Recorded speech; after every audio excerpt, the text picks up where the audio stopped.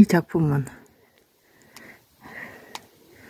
음, 내 딸이 그때 수학여행 갔다가 고등학교 때 어, 허리 디스크로 아파가지고 어, 왔을 때 내가 늘 이에 태워다 주고 데려오고 그랬을 때 어, 이 아이를 이렇게 안고 있는 어머니죠. 나와 내 딸을 이렇게 표현한 작품이에요. 그래서 이 제목이 그때는 나를 밟고 일어서라 그러는 제목으로 발표했던 것 같아요. 아, 엄마가 이렇게 바디, 밖에까지 튀고. 이 아이는 작품 다리가 좀 깨졌어 이게.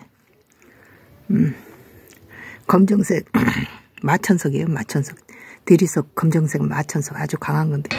이거 표피를 잔다듬이를 터치를 넣어가지고 속에 있는 이 인 그 아이와 어머니의는 반들반들 광을 냈는데 지금 밖에 있으면서 광도 죽고 때도 묻고 음.